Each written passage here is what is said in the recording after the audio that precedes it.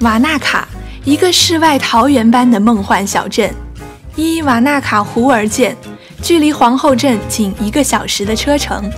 和蒂阿瑙相同，依水的环境让这座小镇显得格外温馨静谧。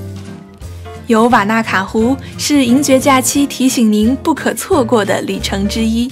瓦纳卡湖是新西兰的第四大湖，依傍着南阿尔卑斯山的东麓，纯净湛蓝的天空，清新干净的空气，平静如镜的湖面，美丽的湖边林木以及远山上的积雪。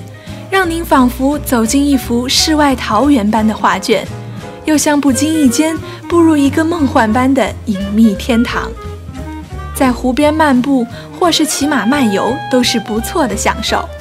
当然，如果您喜欢刺激，也可以进行各种户外探险活动。距离瓦纳卡两公里的迷幻世界是一个很独特、很有趣的主题公园。您可以体验各种倾斜的建筑物，来寻找和体会迷失感。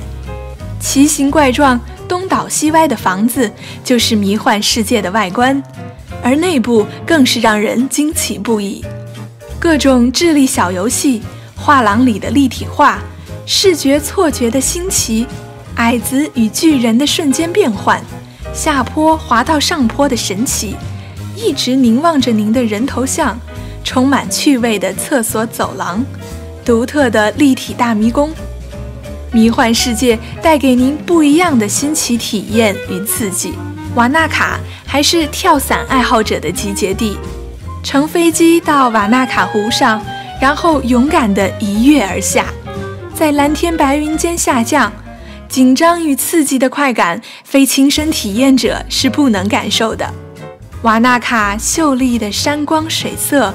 宁静致远的氛围，一定会带给您难忘的体验与回味。